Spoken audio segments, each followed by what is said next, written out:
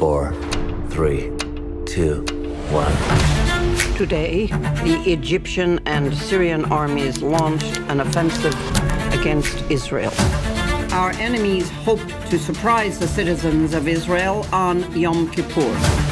Our troops are outnumbered seven to one.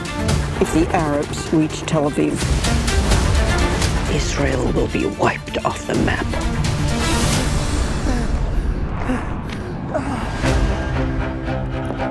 My day, they stood for the Prime Minister.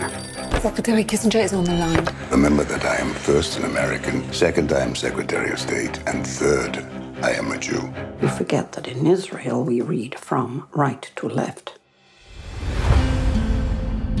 The American people will pay a high price for supporting Israel. If we have to, we will fight alone. Our troops on the canal, they're surrounded. You rescue these boys. Might lead to catastrophe. If the Americans throw us to the dogs, I will not be taken alive. The Egyptians have fired a cruise missile at Tel Aviv. Well, I'm not going to get under the table, but don't let me stop you.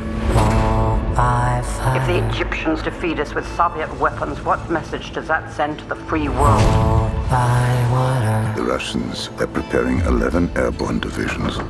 When I was a child in Ukraine, they would beat Jews to death in the street for fun. I am not that little girl hiding in the cellar. Oh, by brave ascent, oh, by accident. Do you know how many people died? All those boys. I will carry that pain to my grave.